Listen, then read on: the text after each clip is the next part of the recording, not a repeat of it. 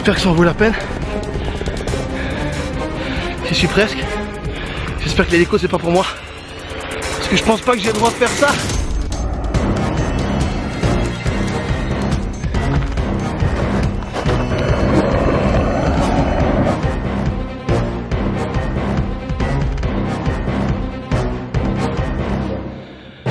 Voilà.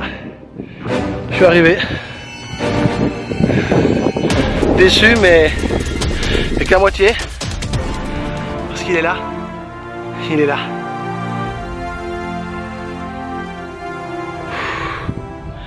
Voilà. Mais je vais en profiter pour partager avec vous euh, ce que je viens de vivre, qui est pour moi une, belle allégorie des objectifs dans la vie. Parfois on se fixe des objectifs vraiment très très hauts. Et sur la route il y avait marqué pas d'accès vers le signe Hollywood. Donc en théorie il n'y avait pas d'accès. C'était euh, impossible. En revanche euh, on s'est dit on va quand même voir, on va euh, voir ce qu'on peut faire. Guy est resté en bas quand on a vu que la colline était très abrupte, mais il a préféré rester en bas et d'autant plus que il s'est interdit de garer la voiture là où on l'a laissé, donc Guy est resté auprès de la voiture. Mais ce que je voulais c'était absolument avoir ce signe parce que j'aurais été frustré de ne pas pouvoir euh, vous le montrer et en tout cas moi le voir par satisfaction personnelle tout simplement. Et puis euh, j'ai dû prendre une côte abrupte, vous en avez vu quelques images, pas, possible de monter euh, sans glisser à chaque fois. Là maintenant je vais devoir descendre, c'est très abrupt. Et en fait la vie c'est à peu près pareil, voire même complètement pareil. On veut absolument quelque chose et on est absolument motivé et on ne se trouve aucune excuse pour y arriver. Et c'est ça en fait le secret de beaucoup de réussites, si pas toutes les réussites, c'est la passion. La passion et l'envie de vouloir vraiment y arriver. Se dire, il n'y a pas d'excuse, on va y arriver. Si la pente est abrupte, si de temps en temps on glisse et qu'on fait un marche arrière et de temps en temps on s'accroche à des arbustes qui sont probablement pas faits pour ça ou qui sont plus souples qu'on ne le pensait, on ne se décourage pas, on y va. On devient sale, on a plein de sable dans les, dans les chaussures, on transpire, il fait soif et on y arrive. Et sur la route, on se rend compte que le décor au final est très très beau. On finit par voir quelque chose. Alors je suis pas arrivé tout à fait à l'objectif, mais je suis content de l'avoir fait. Je suis content d'avoir fait parce que je suis là devant le signe Hollywood qui est censé être inaccessible. Savez-vous que ces lettres Hollywood sont là depuis 1923 Et à la base, il y avait marqué Hollywood Land parce qu'il y avait un projet immobilier qui se faisait ici au pied de cette montagne. Et en fait, ce projet ne s'est jamais réalisé, ils n'ont jamais fait la levée de fonds qui était nécessaire. Ce signe, euh, en fait, est resté là. Personne n'avait les moyens financiers de les enlever. Il était même décoré de milliers de lampes et ça, ça s'éclairait la nuit. Hollywood Land en alternance, etc. Et ça, ça donnait envie justement. C'est en tout cas ce que pensaient les promoteurs. Ça pouvait donner envie de venir acheter une, une propriété ici, au pied de Hollywood Land. Beaucoup plus tard, ces lettres sont rentrées dans l'oubli et finalement, les dernières lettres Land sont retirées en 1949 pour laisser le mot Hollywood. Et plus personne ne s'est occupé de ce signe. Sauf qu'en 1973, ce signe commençait à se désagréger par le temps, plus personne n'y pensait, plus personne ne voulait s'en occuper et surtout c'était considéré comme un grand gouffre financier inutile. Eh bien plusieurs fonds privés, plusieurs chanteurs, plusieurs artistes, plusieurs fortunes de la région se sont mobilisés pour payer la restauration de ce symbole. Faut pas oublier non plus que ça a coûté la bagatelle de 250 000 dollars quand même à l'époque. Hein. Et bien voilà, et depuis eh ce signe est euh, inscrit en tant que euh, patrimoine culturel de la ville. Donc maintenant il est régulièrement entretenu. Dernièrement, il y a quelques années, il a été restauré euh, par des dons privés et entre autres par une entreprise de peinture qui a offert 80% des frais. Et ça a coûté la bagatelle bien sûr de 180 000 dollars, rien que ça, et 1400 litres de peinture pour repeindre ces lettres. Il faut vraiment les aimer ces lettres et c'est vrai qu'on les aime parce qu'elles nous font rêver, elles sont symboles du cinéma, elles sont symboles du rêve américain. Et franchement, venir jusqu'ici, transpirer, avoir soif et s'ouvrir en effet l'escalade, ça valait vraiment la peine d'y être parce que je voulais toucher entre guillemets du bout des doigts ce symbole du rêve américain.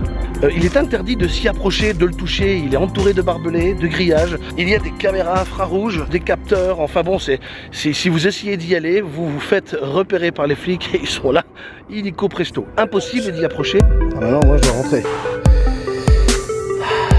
Ça va être chaud.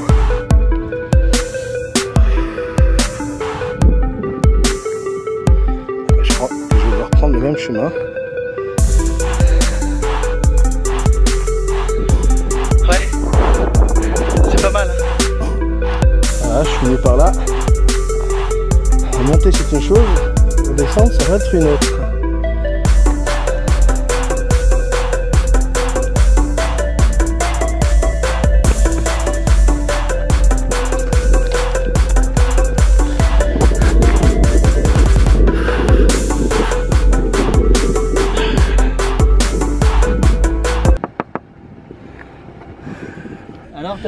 Ah, j'ai dû mériter. Hein. ah non, j'ai pas couru. J'ai escaladé. Ouais, t'as escaladé. Ah oui, pour la descente, après j'en ai chié. Mais je l'ai eu. Tu l'as eu Je l'ai eu. Ouais, bravo. En Rien tout cas- qu'à te voir transpirant comme ça, ça me donne envie d'aller faire la sieste.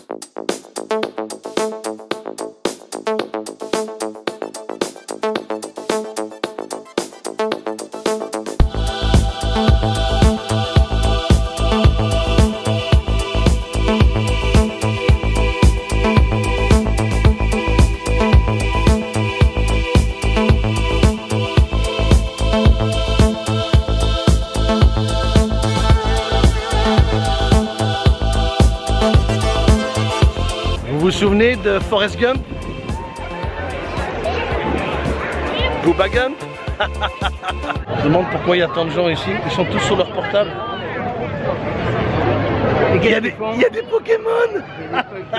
Il y a des Pokémon, Il y a des Pokémon sur le pire. Ils sont tous en train de jouer. Ah ouais, il y en a beaucoup hein. Je me dis mais pourquoi tout le monde s'arrête là? Ça doit pulluler de Pokémon Ah, c'est la folie là, ils sont tous sur leur. Ah ouais, je confirme, ils jouent à Pokémon, c'est ça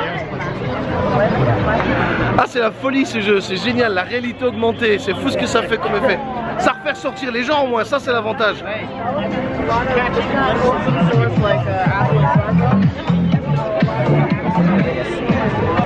Pokémon, you get him on the pier. That's what everyone's doing these days. Yeah, That's, all the kids are, that's what all the kids are doing. Ils sont tous en train de Pokémoner.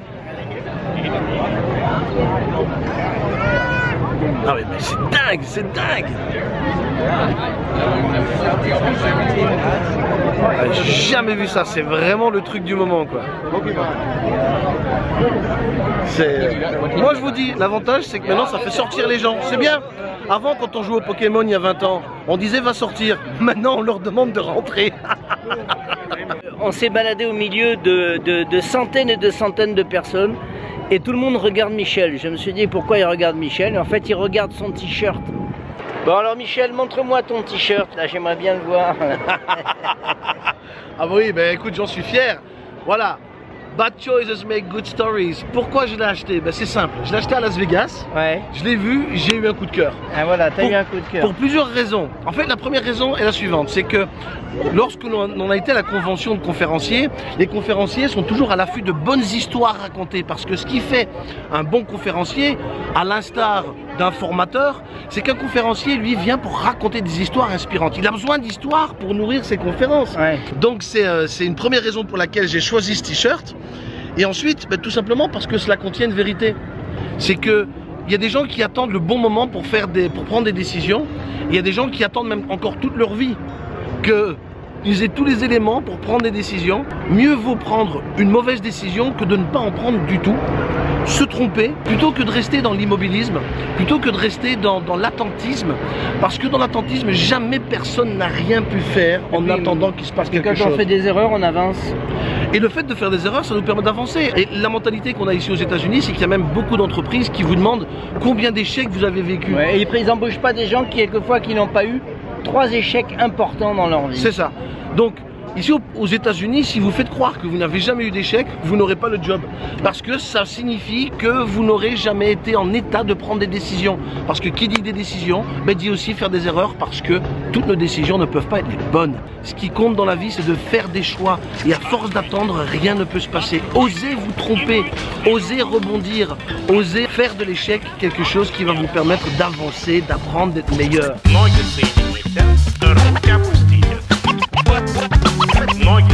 On est parti à l'aventure. on est mal barré.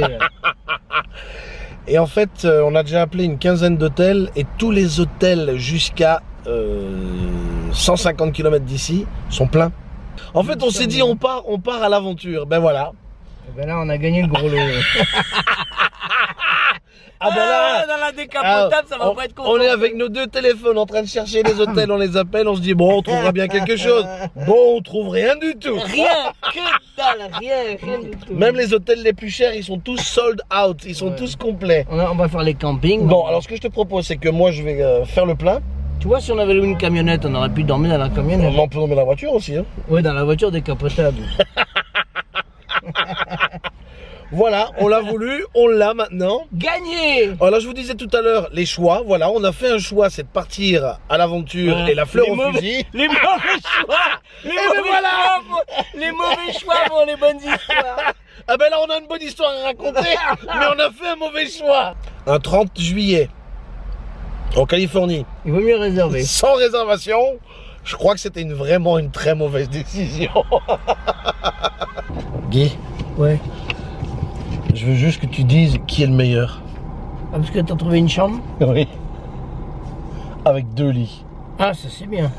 Tu as dit qu'on la prenait Ouais. Bon, mais on sort tout de suite, on la réserve. hein. Alors c'est qui le meilleur? C'est toi. Voilà.